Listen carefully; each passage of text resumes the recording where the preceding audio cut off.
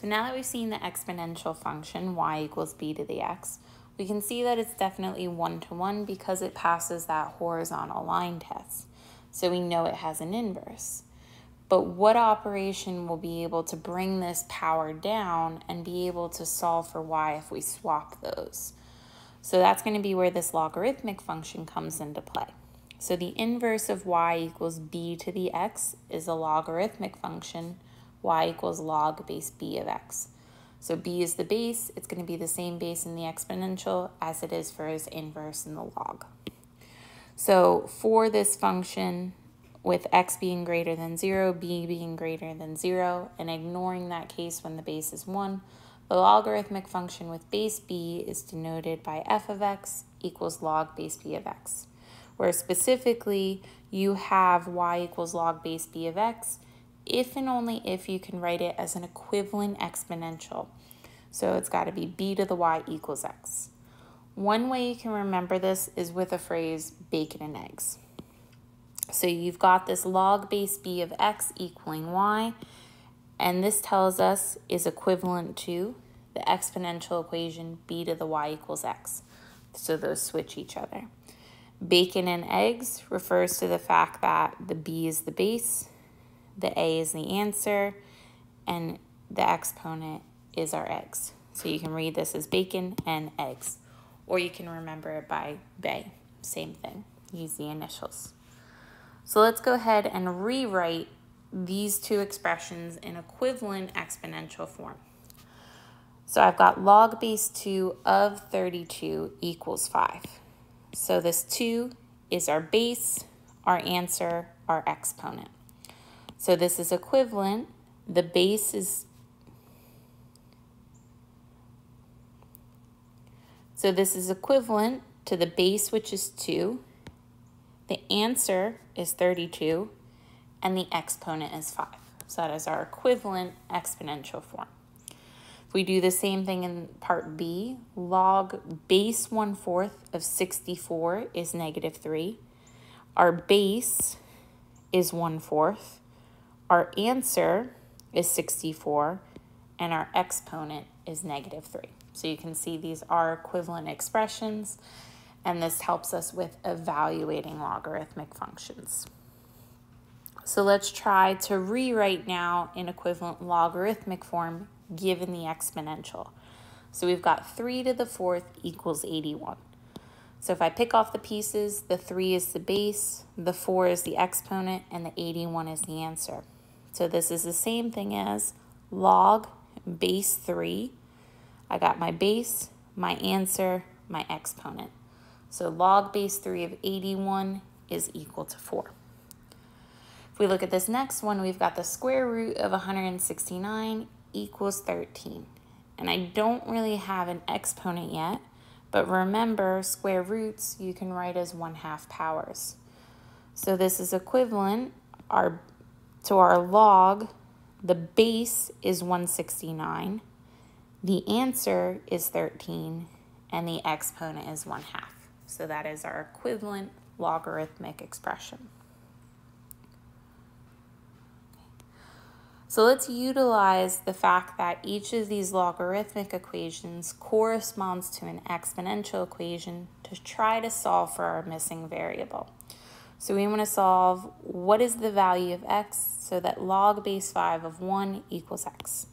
So I'm going to rewrite this in exponential form. So I've got my base, my answer, my exponent.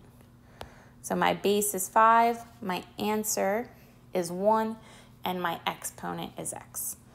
The only way 5 to the x can equal 1 is if x equals 0. So that is our solution to this equation. If we look at the next one, we've got log base 4 of x is 5 halves. So I'm going to again rewrite this in exponential form. So our base is 4, our answer is x, and our exponent is 5 halves. So all I need to do is evaluate this to find what x is going to be. So x is going to be 4 to the 1 half to the fifth power. So that's going to be 2 to the fifth, which is 32. So the missing value of x is 32. Okay. Now to get the graph, we can utilize the fact that we know everything about the exponential function to graph that logarithmic. So based on the value of our base, we've got these two different exponential functions, which I have already graphed. So here's b to the x when the base is bigger than 1, and here's b to the x when the base is between 0 and 1. Each of these exponential functions goes through the point 0, 1. Because of that, the reflections are about the line y equals x. This point 0, 1 is going to correspond to 1, 0 on each of the graphs, regardless of what that base is going to be. Now my actual logarithmic function will look like this when it's reflected. And likewise here, if we reflect this about y equals x, we get this as our logarithmic function. So here is y equals log base b of x in the case your base is bigger than 1, and here is the case when the base is between 0 and 1.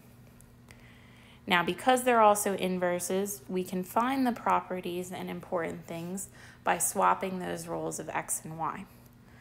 So let's look at the exponential function and let's look at the logarithmic function. For the exponential function, we know the domain is all real numbers and the range is from 0 to infinity. Because those roles switch, the range becomes the domain of the inverse, and the domain is the range of the inverse. So for the logarithmic function, our domain is from 0 to infinity, while our range is all real numbers. For the exponential function, we don't have an x-intercept and the y-intercept is 0, 1.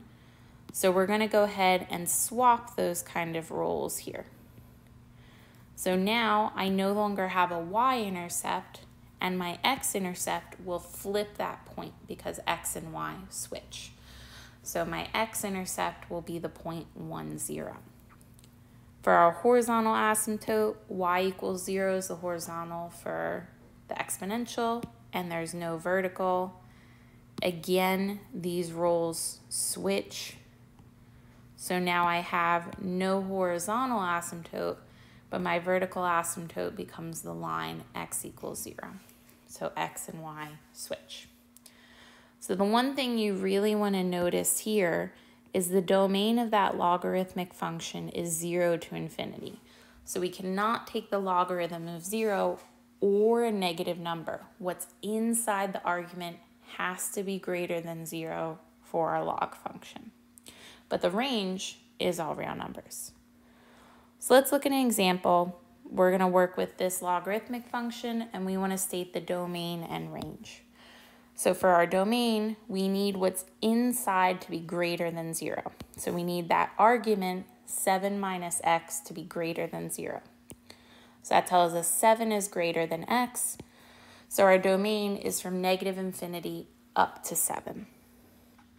Our range, if you shift this any what way, up, down, left, right, not going to make a difference on the range being all real numbers. So our range is still negative infinity to infinity. So you always need what's inside the logarithm to be greater than zero for the domain. That's going to be one key thing we have to have. Okay? So now let's get some practice with graphing.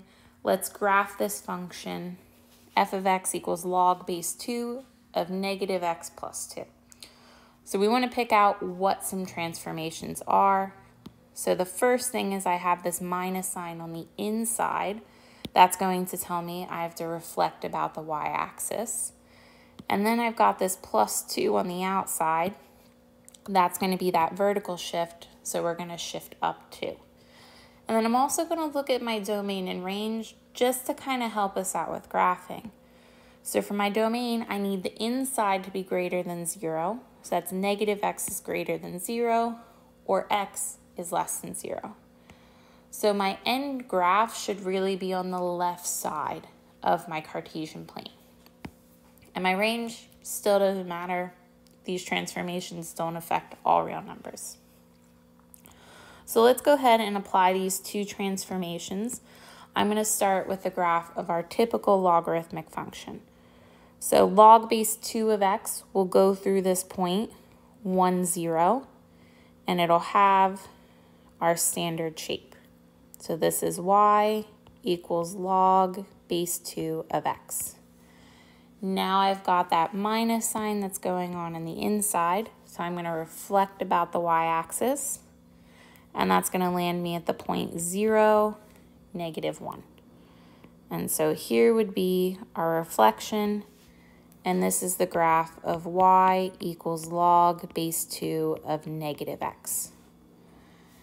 So that's my first transformation. The second transformation, I want to go ahead and shift this up to. So I've got to start by graphing this function again. So here is log base 2 of negative x. And then I just want to shift it up to. So the point that's at negative 1, 0 will get shifted up to, to negative 1, 2. But the graph will still hold that same shape. So here's y equals log base 2 of negative x plus 2. Okay. Now, just like we have a bunch of properties for exponentials, we have similar properties that end up being translated over for logarithms. So all of these can be shown just from those exponential properties. So to kind of set the tone, just to make sure we're not taking logs of negative values, we're going to let x, y, and b be numbers greater than 0. b is not going to be our boring case, which is our base, so b can't equal 1. And then r can be anything it wants. As long as that's true, the following properties hold. So the first one is if you take log base b of 1, it's going to equal 0. And that's because if you rewrite this in equivalent exponential form, here's our base, our answer, our exponent. So b to the 0 equals 1. So regardless of the base, log base b of 1 will always end up equaling 0. Likewise, if you take log base b of b, you're always going to get 1 because in equivalent exponential form, the base is b, the answer is 1, and then the exponent er,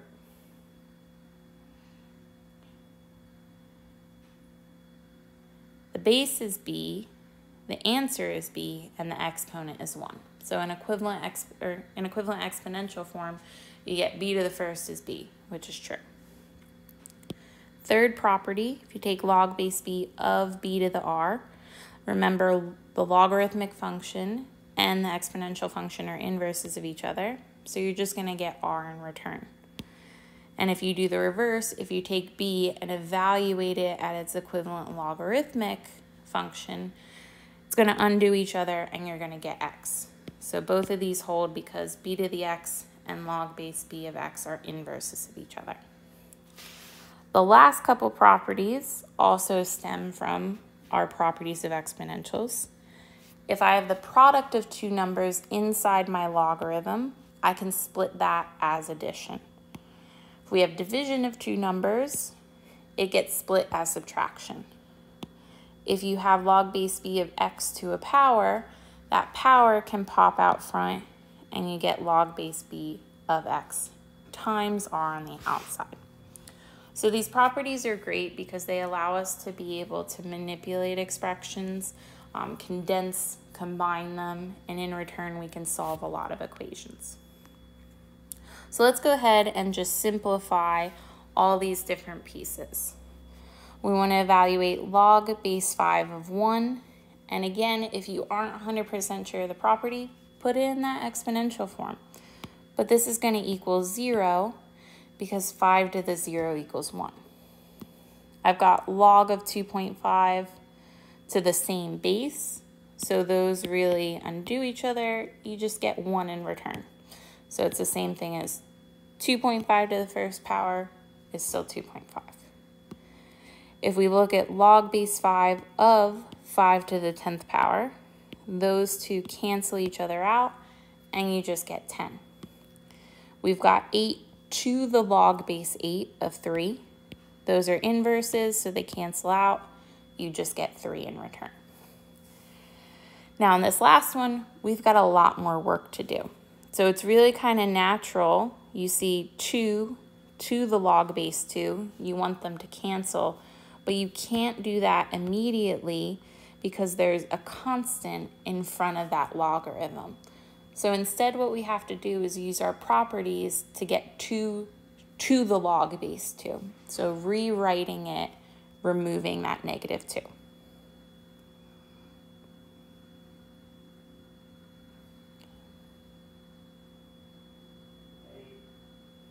I'm filming.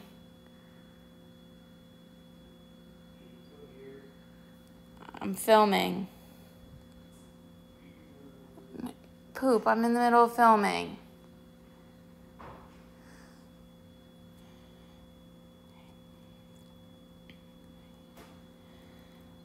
So one of our properties tells us you can take exponents inside logarithms and pop it out. So we can do the same thing here, but bring this negative 2 on the inside as an exponent. So I'm really kind of reversing this rule. This would normally pop out front. Now I'm undoing that process. But now I've got 2 to the log base 2. So now I can say these cancel each other out because they're inverses. So we're left with negative 18, and then we're left with the inside, which is 3x to the negative 2. So now we just need to simplify. You've got a negative exponent, pops down in the bottom to make it positive. If you distribute that square, you get negative 18 over 9x squared. And then 18 over 9 simplifies to 2. So this whole thing just simplifies to negative 2 over x squared. So the last thing we're going to do is we're going to use just properties of logs to rewrite stuff because very soon we're going to talk about solving logarithmic equations and being able to manipulate using the properties is going to be an important tool.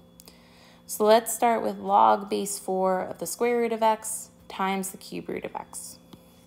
So because we have multiplication in here, our property tells us we can split this as addition. So I get the logarithm of the first piece plus the logarithm of the second piece. And now I can take it a step further because the square root of x is the same thing as x to the 1 half. Cube root of y is the same thing as y to the 1 third. So each of these exponents will just pop right out front using our other properties of logs. So this is equivalent to 1 half log base 4 of x plus 1 third log base 4 of y. Okay. Now in this next one, we're going to do the same thing.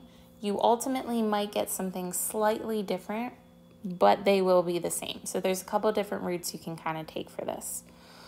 We've got a lot going on. One thing you could do is distribute this 7 to all of the pieces. But also what you can do is just use your properties to bring the 7 right out front. So that's the route I'm going to take, but if you do a different approach, that's perfectly fine too. So I can pop that 7 out front, and I'm left with everything on the inside. Now, I've got this numerator, which is being completely divided by the x squared minus 5. So I'm going to keep the 7 out front, and I'm going to work with this remaining logarithm. So I get log of the numerator, and it's being divided by x squared minus 5, so we just subtract that. And then finally, I've got the product of two things. My property tells me I can split those as addition. So you get 7 log of the first piece plus log of the second piece, and then this whole thing is still being subtracted by the log of x squared minus 5. And then the very last thing I could do is I still have an exponent in here, so let's go ahead and pop that out front. And you get 2 times log base 8 of 3x minus 1. So this would be as far as I could possibly expand it. You could distribute the 7 to get 7 of the first log, 14 minus 7 of each of those, but it's not necessary. Okay. So the last thing we're going to do is we're going to condense a logarithm. So I've got this thing as spread out as I possibly can, and I want to use my properties to condense it to a single log. So the first thing I can do, I can't start combining anything until I've got log of the same base of something. So I need to go ahead and get rid of all of these exponents that I have out front to just get the logarithms on their own. So these will come right back inside as exponents. So the first one gives you log base 3 of x squared plus 4 to the 1 fourth. And then you get minus log base 3 of x squared minus 3 to the 1 half. And then I don't need to do anything with this other logarithm. Now I've got 1 log minus the same, so they have to have that same base. So I can condense that as division. And then I want to go ahead and subtract this other logarithm. So you can also rewrite those exponents with radicals if you choose, but you don't need to. So 1 fourth power is the fourth root, 1 half power is square root. So I'm taking this first expression and I'm subtracting log base 3 of x minus 1. That's the same thing as taking this expression then and dividing it by x minus 1. But if you take a fraction, divide it by something, it's just going to get put in the denominator. So really at the beginning, you can kind of see the pieces that are negative both end up in the denominator. So you don't have to take it step by step. If you're comfortable recognizing that, those pieces go in the bottom. Anything that's positive is going to stay in that numerator. But you can only combine if they have the same base.